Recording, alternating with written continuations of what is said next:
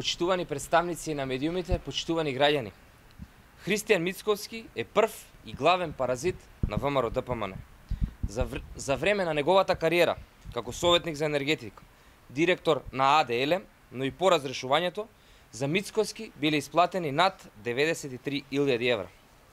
Како советник на Никола Груевски и Емил Димитриев за енергетика во периодот од април 2015 до октомври 2016 година, секој месец добивал хонорар од 1100 евра, за советување вкупно му се исплатени околу 50.000 евра.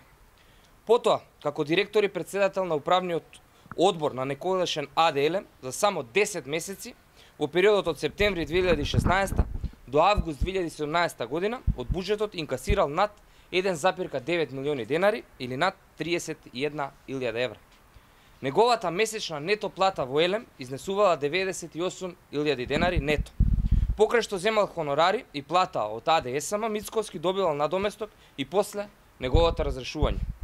Иако, по разрешувањето од функцијата директор и председател на управниот одбор, се вратил да работи како професор на факултет, за 12 месеци на име разлика во плата од АД Елем добивал месечно 60.444 денари. За 12 месеци му биле исплатени вкупно 805.920 денари бруто. По раскинувањето на менаџерскиот договор примил уште над 13.000 евра пари од граѓаните.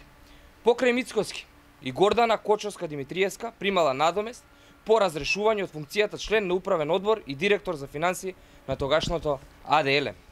Гордана Кочовска Димитриевска уште, уште една година примала цела плата од 66.432 денари нето.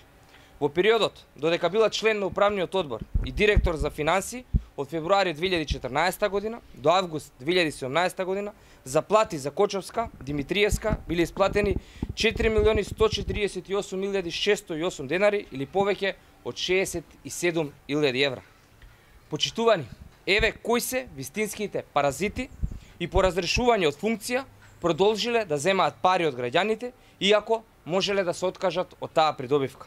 ВМРО ДПМН е партија на паразити кои со години земале државни пари и се богателе на сметка на граѓаните, кои тогаш тонеа во долгови и сиромаштија. Ви благодарам и повелете со прашање.